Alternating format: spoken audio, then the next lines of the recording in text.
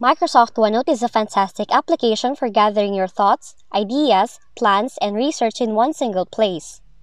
Now, if you're currently using Microsoft OneNote, and you might want to print OneNote notes to fit on a single 8.5 by 11 inches paper size, here are some steps that you can follow to achieve that.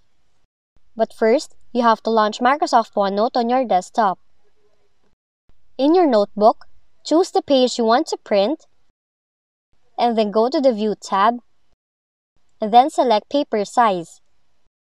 In the Paper Size task pane on the right, choose Custom in the paper size. Then, input the width and the height in centimeters. In this case, we would convert 8.5 inches by 11 inches into centimeters. So the width should be 21.59 centimeters and the height should be 27.94 centimeters. After doing that, you may opt to choose Save Current Page as a template at the bottom of the paper size task pane, so you will be able to choose this template again from My Templates list in the Templates task pane.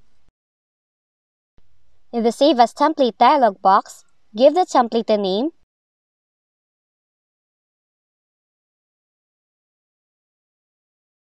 and then click on Save.